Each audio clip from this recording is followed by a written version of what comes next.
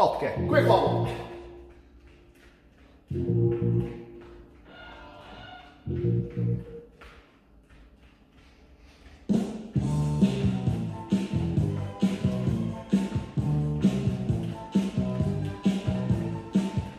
I'm going to go into skaters, so you're going to step back just before, one side to the other.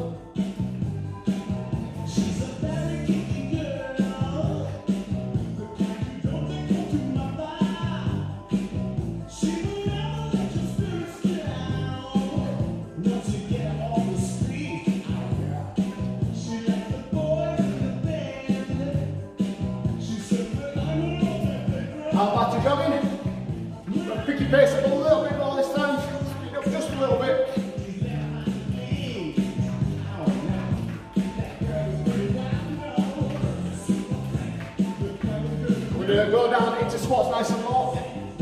Feet narrow. Don't have to go too deep. Just try and keep the pace up a little bit.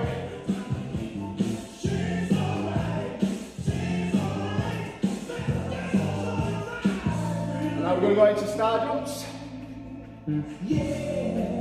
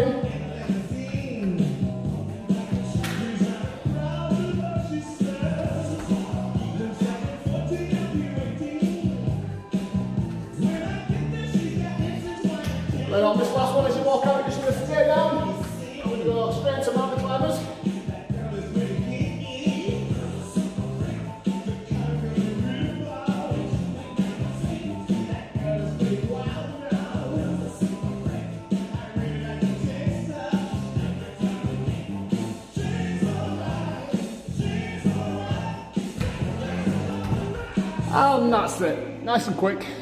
Just get your heart rate up a little bit.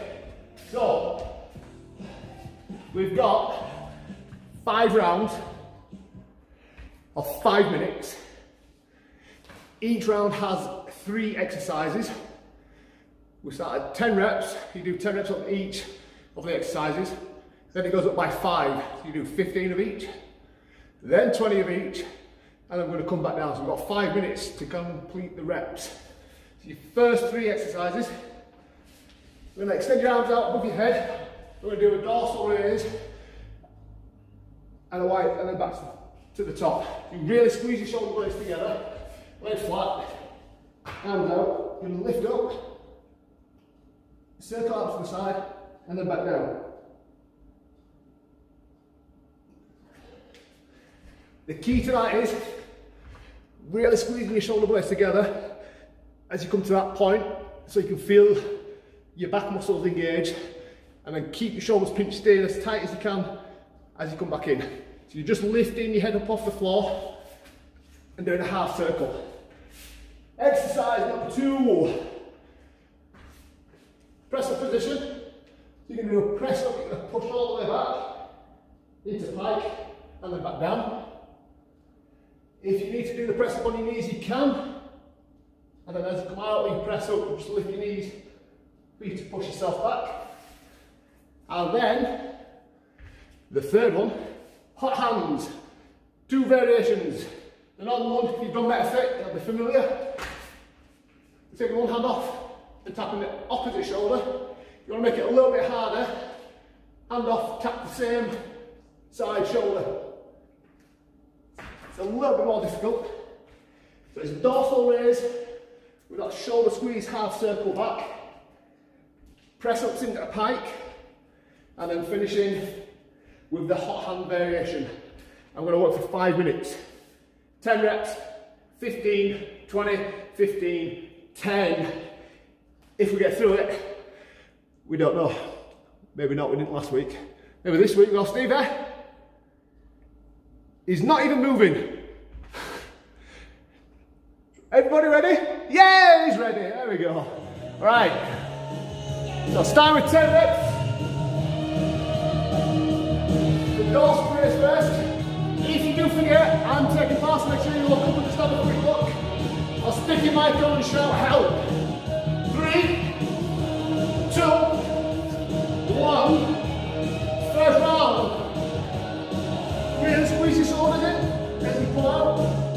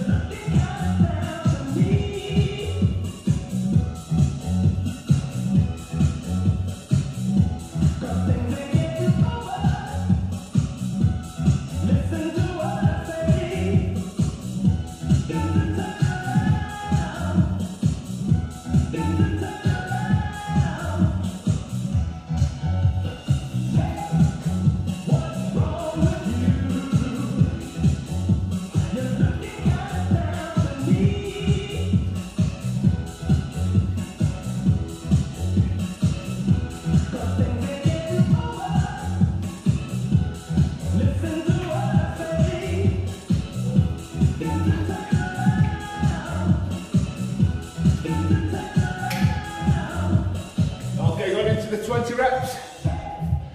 What's wrong with One and a half.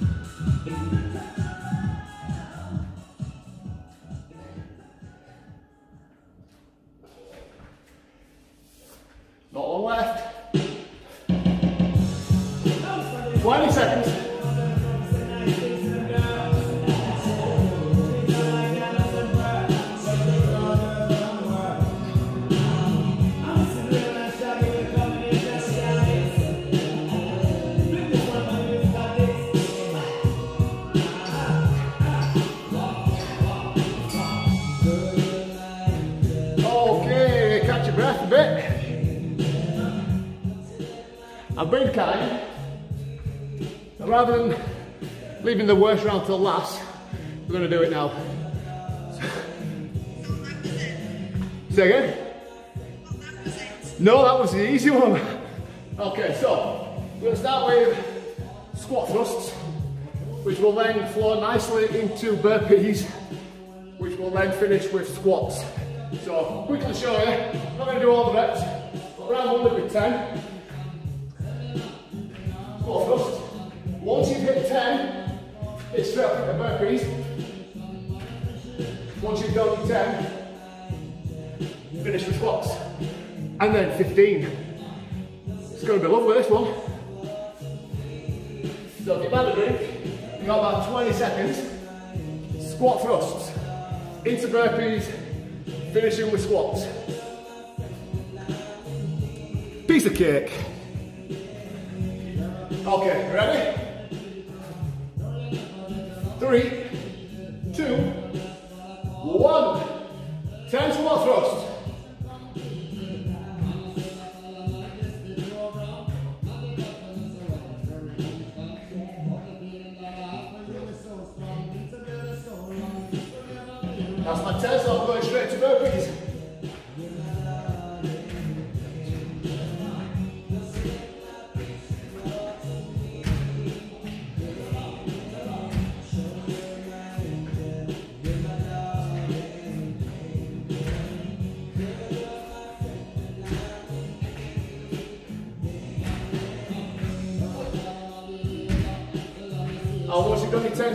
10 straight to 10.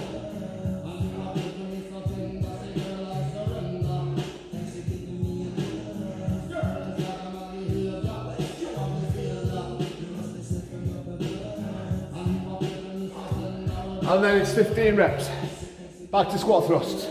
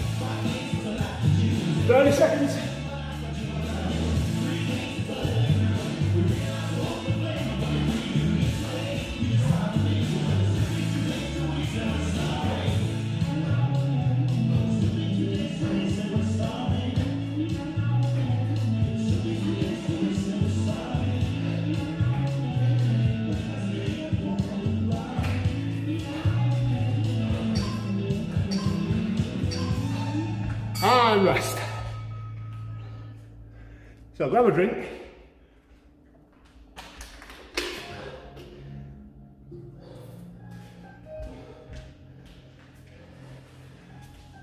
After that round, you can have a lie down. So basically, uh, hold a, a bridge, heels tucked in, hips pushed up, and then we're going to crunch and lift alternate legs. And I'll show you. And then we've got alternate toe reach. And again, I'll show you. And then it's finishing with boring sit-ups. So first two, just to make sure everyone's clear.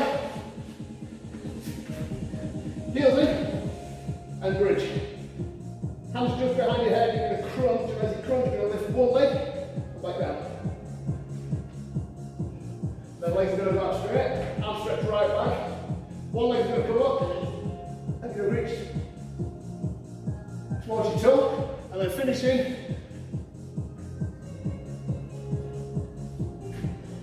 with sit-ups. If you go all the way around doing the five minutes, just go back to the beginning and restart. So slightly easier round in the middle, and then we'll pick it back up again.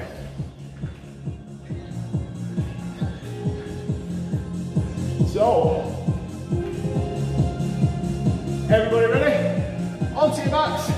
bridge position, we're crunching and lifting one leg at a time. So get ready.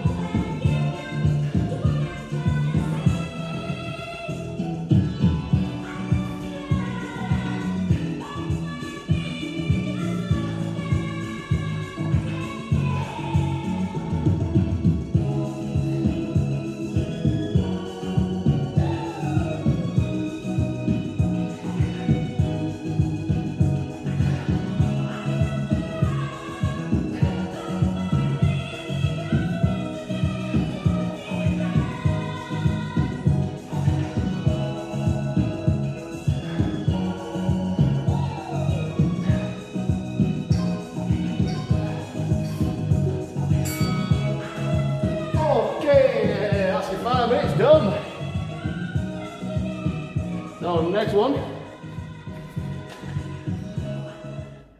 We basically do like a, a hip rock standing. So, I'll show you, it's a bit, uh, bit of a weird one. You should feel it in your quads and your hamstrings, but at two different parts. So, make a bit of a brace. So you get the weights forward, so I'm not sat into a squat, I'm leaning forward. And all I'm going to do is kind of rock Push and stretch, so you feel it tighten up here, and you're just going to drop back down into seat position. So you are literally just rocking. So you've got constant tension in your quads, and then a stretch in your glutes and your hamstrings at the back as your backside comes up. So the more you tuck your head in and stick your backside in the air without straightening your legs, the more tension you'll feel. So you want to be there. Now, I like to lift my toes up and rock onto my heels because it does make it a little bit harder on your hamstrings and you will feel a bit more in your glutes if you do that. Second exercise is down to you. There's no way for me to know if you're cheating, but you're going to push your palms together as tight as you can. So the more you push, the more tension you've got in your biceps, shoulders and chest. We're to do that on the floor and we're going to stretch out like a pullover and then bring it back. You've got to keep constant pressure all the way through. Prayer hands. And all you're doing is that without taking off the tension. You shouldn't be able to do it fast. If you can do it fast, you're not pushing hard enough. Because that slows you right down. If you don't push, I can do that. So if you're doing that, you're not pushing your palms together. So I can watch if you don't turn the cameras off. That'll be done on the floor. Squeezing. And arching back and there's no let up on that pressure. They're squeezing all the way through every part of the movement. The last one is seated position. I'm going to reach round, and as I reach, so I'm reaching to my left, I'm going to lift my left foot. I'm going to try and get as far around as I can. So if I spin round, I should be able to see you. If I reach round and lift that foot, that's the foot coming up allows your hip to travel a little bit further around. So the leg that comes off the floor, you've got tension in your quads, you're working your obliques and your core at the same time. That's your three. Are we ready? Thumbs up. First one, standing with the rocking hip Tension at the back, tension at the front. Five minutes. Get ready.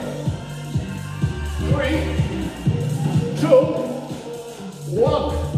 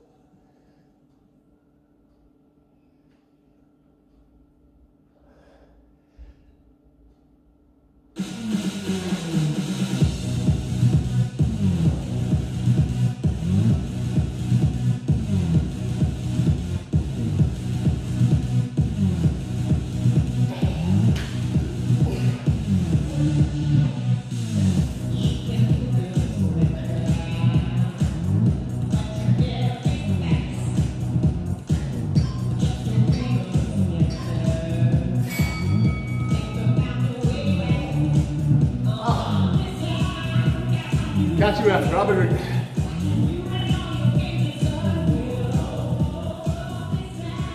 Okay, first one. I'll show you side though. But basically, try I'll describe it and then I'll show you. We're basically doing a lunge and then we're going to lift the back toes just off the floor. So this is a bit of a, a double bounce with that to allow the lift before you step back out. So lunging forward, I'm going to push very slightly just so I can lift that foot. So I'm pushing off this leg. This one should just come off the floor a little bit. So the reps will look and then back out. So it's that little double bounce that's going to make your legs work really hard. Last round though, last five minutes. Easy. After that, elbows tucked right in, knees on the floor. So really you want your hand position is just underneath your chest. Okay? Not the side, everything tucked in, on your knees, and you tricep push. So all of the building is your elbow joint, and all the effort should be done by your triceps. A little bit of chest activation, a little bit of shoulders, but primary back of arms. So keep everything tight and tucked in and close to your body. And it is just pushing like a tricep extension, but using your own body weight. Last one, nice and easy. Sitting up, hands off the floor if you can. Knee tucked. Last five minutes. Is the dog ready? Yes. The dog's ready. Is Sleepy ready? I can see, all I can see is your knees, Steve.